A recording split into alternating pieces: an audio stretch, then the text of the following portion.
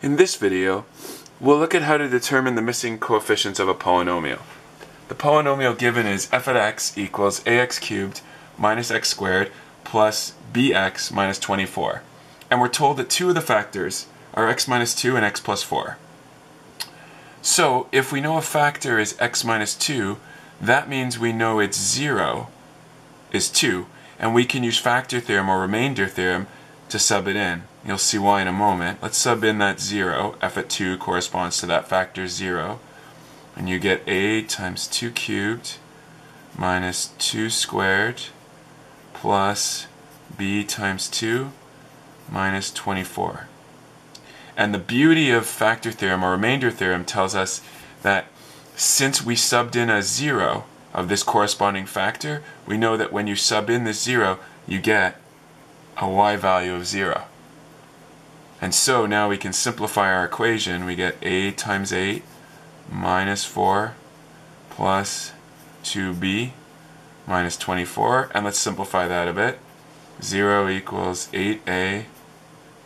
And I'm going to I'm going to move this 2b over, so plus 2b. And then I'll combine these like terms of minus 4 and minus 24 to get minus 28. I'm going to call that equation 1. We used the 0 of the factor to get an equation. Let's do the same with the 0 of this factor. The 0 of x plus 4 would be negative 4. So we'll sub that in to the equation. We get a times negative 4 cubed minus, make sure to put brackets this time, negative 4, whoop, negative 4 squared plus b times negative 4 minus 24. And if you sub in the 0, you get a value of 0. Let's simplify. You get a times negative 64 minus negative 4 squared, that's positive 16, plus b times negative 4, that's negative 4b, minus 24. So I'll take an extra step here as I want to mess up the minuses. I get negative 64a minus 16 minus 4b minus 24 and then I'm going to write the letters first, negative 64a, and then this negative 4b, and now I'll combine these like terms, negative 16 and negative 24, makes negative 40. That's my equation too. Looks good so far. I got two equations, two unknowns, so if you followed up to here, now it's back to a grade 10 skill. I have two equations, two unknowns, solve using substitution or elimination. Some of you are going to use elimination. That's okay. I'm going to use substitution.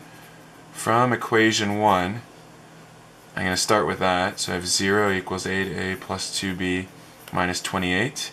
And I'm going to get the b by itself. So I'm going to subtract 8a both sides. I get negative 8a equals 2b minus 28. You could have got the other letter by itself, just the b looks easier because I want fractions. I'm going to add 28 both sides and I get negative 8a plus 28 equals 2b. And now I'm going to divide everything by 2 to clear off that b. And so b is negative 4a plus 14. Let's call that 1a. It's equation 1 but adjusted. Now that I've got that equation, I'm going to sub it in. This is substitution. There's videos on that if you want to watch. Sub 1a into 2, I have to sub it into the other equation. The other reason I like calling it 1a is I know which one to sub it into, the other one.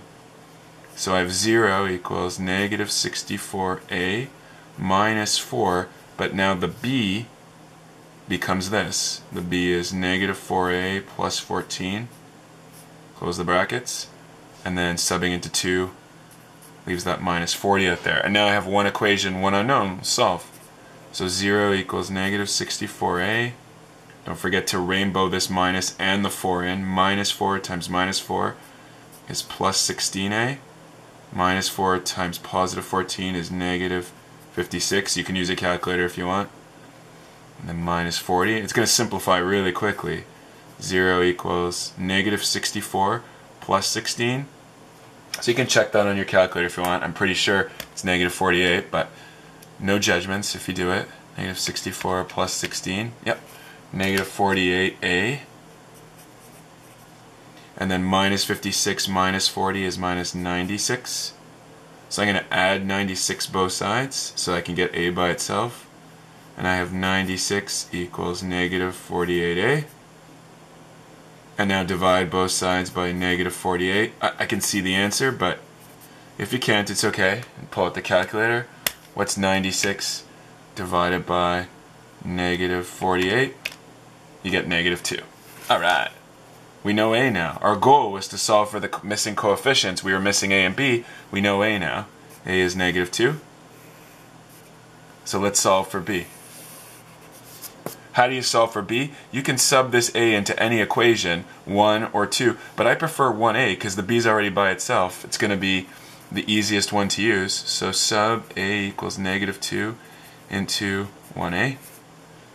And so I get negative 4 times a, which is negative 2, plus 14 equals b. I'm going to show my work just so I don't mess it up. Negative times a negative is positive, so you get 8 plus 14. And so b is 22. If it just said solve for the coefficients, that's not really a word problem, but just in case, I'll put a therefore statement. The missing coefficients are a equals negative 2 and b equals 22. And we're done. We've solved for the missing coefficients of a polynomial by using the zeros of the factors to create two equations and once we created two equations, we solved using substitution.